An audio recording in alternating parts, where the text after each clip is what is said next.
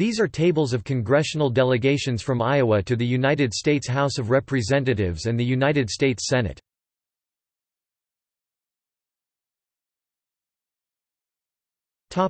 House of Representatives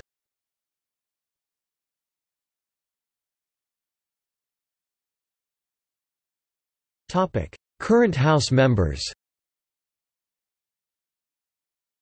List of members of the Iowan United States House delegation, their terms in office, district boundaries, and the district political ratings according to the CPVI.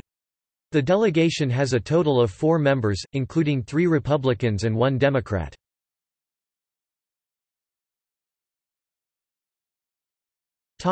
Iowa Territory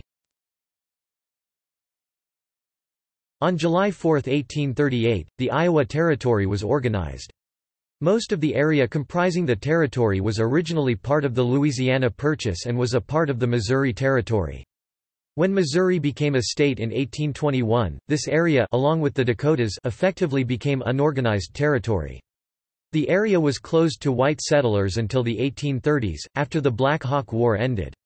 It was attached to the Michigan Territory on June 28, 1834, and was split off with the Wisconsin Territory in 1836 when Michigan became a state. The Iowa Territory was the Iowa District of western Wisconsin Territory, the region west of the Mississippi River. The original boundaries of the territory, as established in 1838, included part of Minnesota and parts of the Dakotas, covering about 194,000 square miles 500,000 square kilometers of land.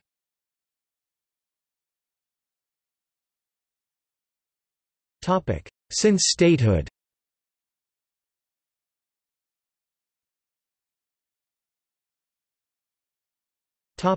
United States Senate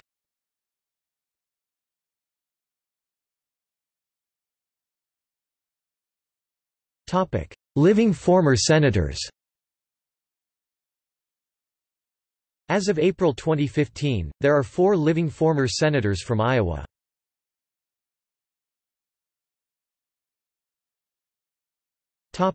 Key.